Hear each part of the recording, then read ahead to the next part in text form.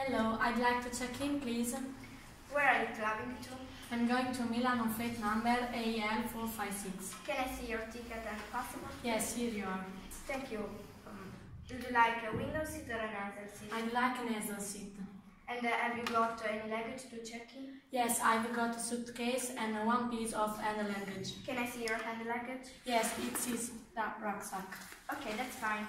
Here's uh, your uh, boarding card and um, your plane is boarding at uh, gate number 22 at 9 till a.m. Okay.